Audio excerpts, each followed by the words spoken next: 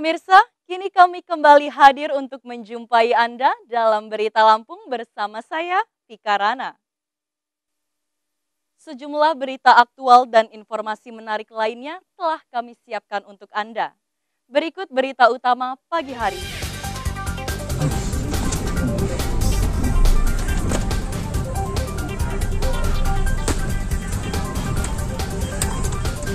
Penyergapan bandar narkoba di Tegineneng Pesawaran dihadang puluhan warga bersenjata tajam.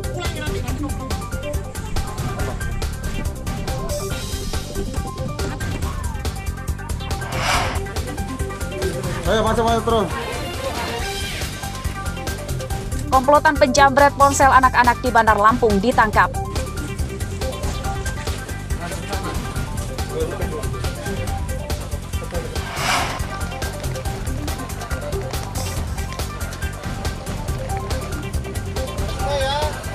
Ratusan calon haji kloter terakhir diterbangkan langsung ke Tanah Suci.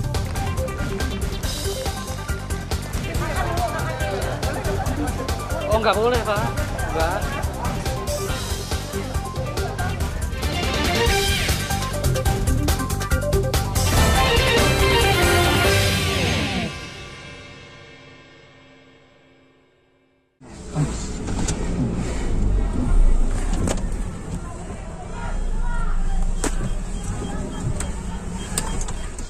Bukan hanya keluarga, warga desa kejadian Kecamatan Tegineneng juga menghalangi polisi yang akan menangkap bandar narkoba.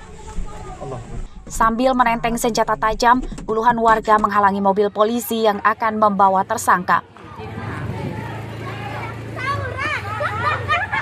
Warga juga memalang jalan dengan batu-batu besar sehingga polisi kesulitan melintas. Namun setelah polisi mengeluarkan tembakan peringatan, kumpulan warga bisa dibubarkan dan tersangka bisa dibawa.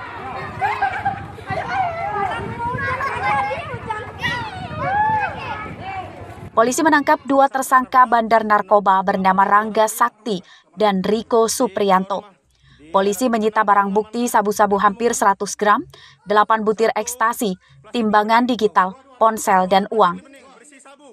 Kedua tersangka adalah residivis kasus serupa.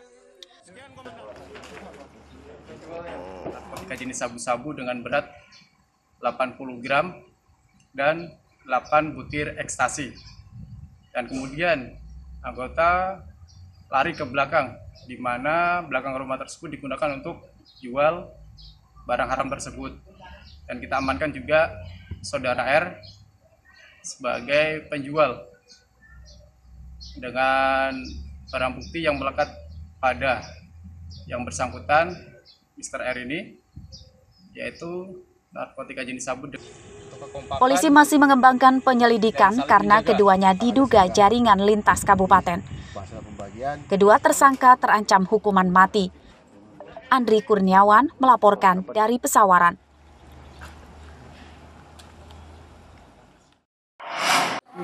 yang baik-baik dan Allah masih lebihkan kita. Seorang ASN di Dinas Perikanan Lampung Utara bernama Andi Saputra ditangkap polisi karena terpergok mengonsumsi narkoba. Tersangka ditangkap di kamar indekosnya di Kelurahan Kota Alam, Kecamatan Kota Bumi Selatan. Polisi menyita sabu-sabu sisa pakai dan peralatan untuk mengonsumsinya. Tersangka berdalih menggunakan narkoba sebagai pelarian dari masalah rumah tangganya. Pakai apa bang? Udah berapa lama bang? Baru. Kenapa bang kok pakai narkoba bang? Kemarin kan pergaulan. Hmm. Terus? Udah saja. Abang kerja di mana bang? Di perikanan. Sebagai apa bang? Di Dinas Perikanan Kabupaten Lampung Utara. Barang bukti diamankan pak? Eh, barang bukti yang kami amankan eh, seperangkat alat hisap sabu atau bom beserta satu klip sisa pakai yang kami temukan pada ada pada tersangka. Heeh. Pasal yang Pemasok narkoba masih dalam pengejaran polisi. Tersangka terancam dipecat dari pekerjaannya sebagai aparatur sipil negara dan dipenjara selama lima tahun. Ardio Haba melaporkan dari Lampung Utara.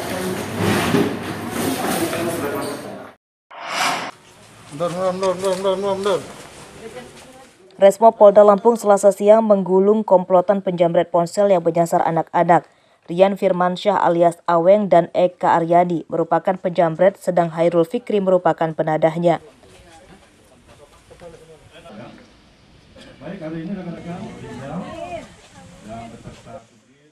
Tersangka keliling menyasar anak-anak yang sedang bermain ponsel di luar rumah. Mereka menghampiri dan berpura-pura menanyakan alamat. Saat situasi aman, mereka merampas ponsel dari genggaman korban. Tersangka juga tidak segan-segan menganiaya korbannya yang melawan. Pelaku yang diduga dua orang berboncengan mencari sasaran dan sasaran itu pada saat itu eh, kebetulan lagi sedang main handphone didatengin oleh si pelaku kemudian di situlah terjadi perampasan dan penganiayaan korban pada saat itu dilakukan pemukulan oleh si pelaku kemudian handphone dirampas dan dibawa kabur Tersangka mengaku baru sekali menjamret di Sukarame, Bandar Lampung pada hari Jumat pekan lalu.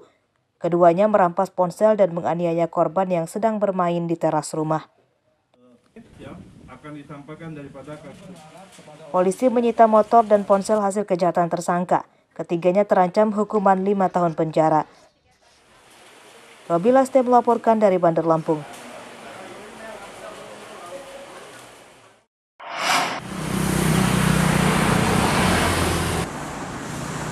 Wabah PMK belum terkendali. Pemerintah kembali mengimbau peternak untuk mewaspadai penularan wabah baru, yakni bovine imperial fever atau BEF. Ternak yang terserang penyakit ini memiliki gejala yang sama dengan penyakit mulut dan kuku atau PMK.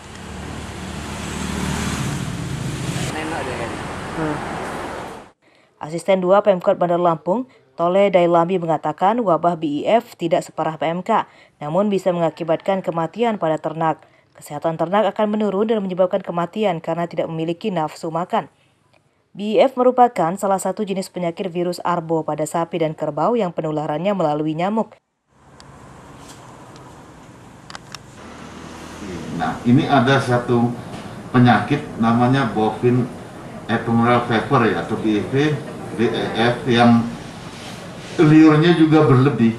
Dia demam juga, jadi dan pincang gitu. Gejalanya hampir mirip dengan PMK. Oleh karena itu, hmm, kita tidak bisa uh, terlalu cepat untuk serta merta menyatakan kalau ada indikasi gejala ini bahwa ini PMK karena untuk mencegah wabah BEF, peternak diminta meningkatkan kebersihan kandang, memberikan vitamin dan pengasapan khususnya malam hari. Terlalu meresahkan dan dia juga dengan sendirinya nanti e, bisa sembuh kalau kita vitamin. Enggak, enggak, bukan. PMK juga tolong ya, bukan zoonosis tidak pada manusia. Kasus BIF ditemukan di Sampang, Jawa Timur. Wabah BIF belum ada di Bandar Lampung, namun pemerintah meminta peternak tetap mewaspadainya. Jeffrey Arifin melaporkan dari Bandar Lampung. Nah.